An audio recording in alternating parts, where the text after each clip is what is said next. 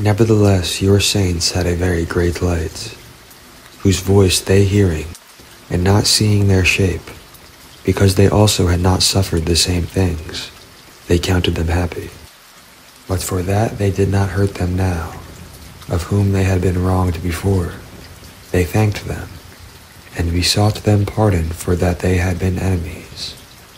Instead whereof you gave them a burning pillar of fire, both to be a guide of the unknown journey, and a harmless sun to entertain them honorably. For they were worthy to be deprived of light and imprisoned in darkness, who had kept your sons shut up by whom the uncorrupt light of the law was to be given to the world. And when they had determined to slay the babes of the saints, one child being cast forth and saved, to reprove them, you took away the multitude of their children, and destroyed them altogether in a mighty water.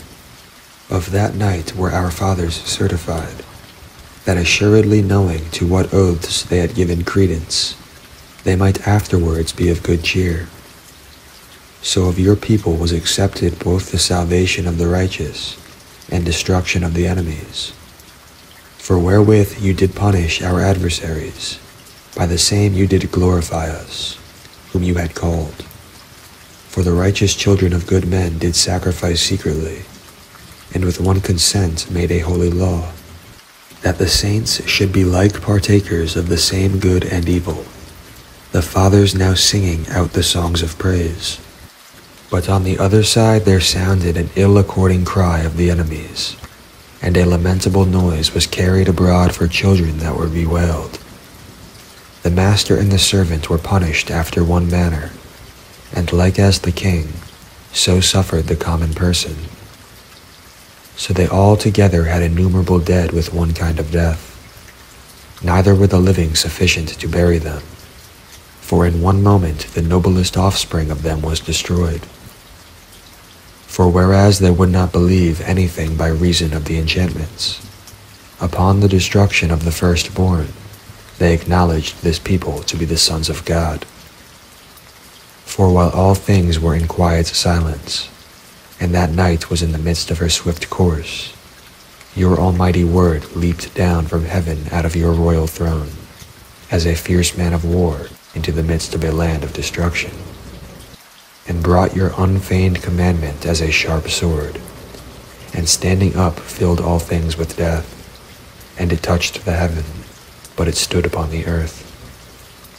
Then suddenly visions of horrible dreams troubled them sore, and terrors came upon them unlooked for.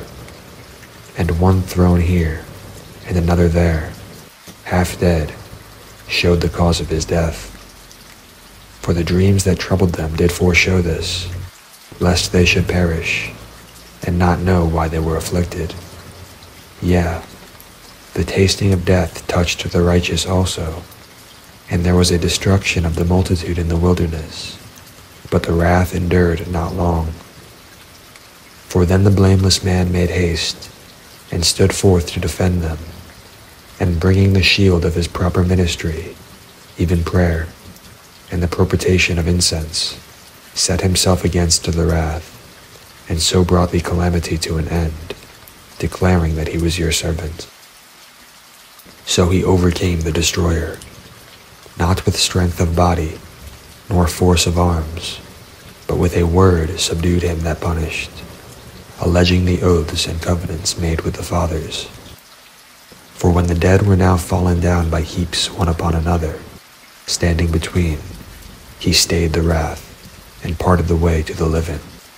For in the long garment was the whole world, and in the four rows of the stones was the glory of the Father's graven, and your majesty upon the diadem of his head. To these the destroyer gave place, and was afraid of them, for it was enough that they only tasted of the wrath.